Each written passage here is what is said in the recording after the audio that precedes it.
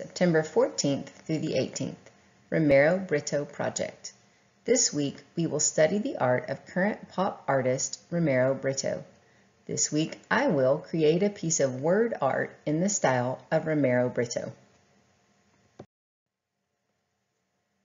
Romero Britto, the founder of the Happy Art Movement, has created a visual language of love, hope, and happiness, all its own, that inspires millions worldwide.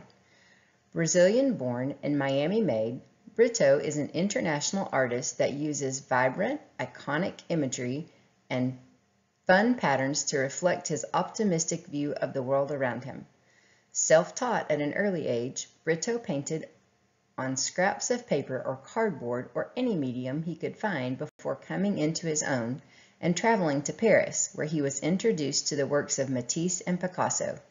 His appreciation of these masters influenced him to create an iconic style that the New York Times describes exudes warmth, optimism, and love.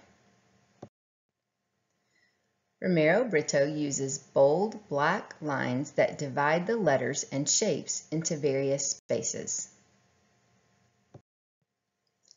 Once the spaces are created, Romero Britto fills them with a variety of color and pattern.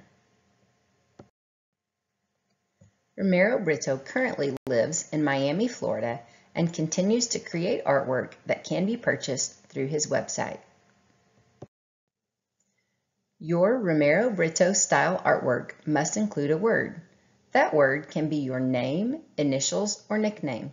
It can also be a word that represents Ed Willkie Middle School, such as EWMS, Badgers, the Willkie Way, respect, excellence, believe, determined, gratitude, encourage, or service. Today, you will do two things. First, go to the quiz in today's art lesson on Canvas. Answer four questions about this video. You will only have five minutes to answer the question and you will only be able to take the quiz one time. If you are not listening to the video, you may want to watch it again before you take the quiz.